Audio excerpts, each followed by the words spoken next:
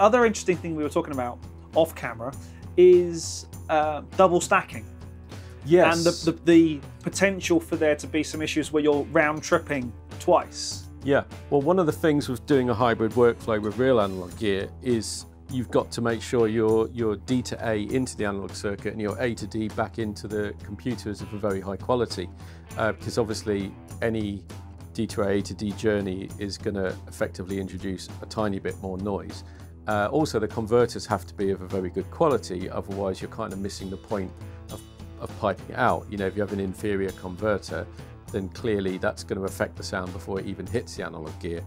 Um, and what's what was really impressive about this was just the clarity. Um, I felt that the converters, whatever they're using, I don't actually know what the models are, but they are absolutely staggeringly clean. I, I, I, don't feel I'm hearing any conversion at all.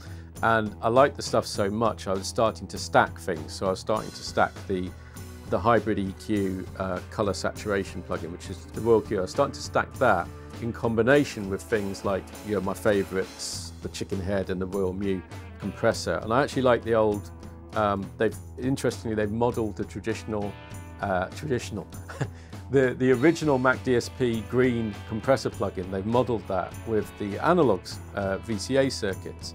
And actually, that was another one I liked because uh, of the byte function I, I used to like using on the plugin.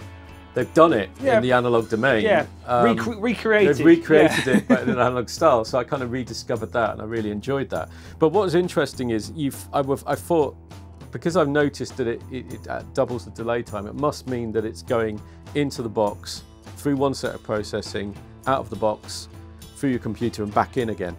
I.e., there's multiple D to A, A to D um, stacking going on, and I, I heard no degeneration in the sound quality. And I think that must be a testament to the quality of the um, A to Ds they've used and the D to As they've used within that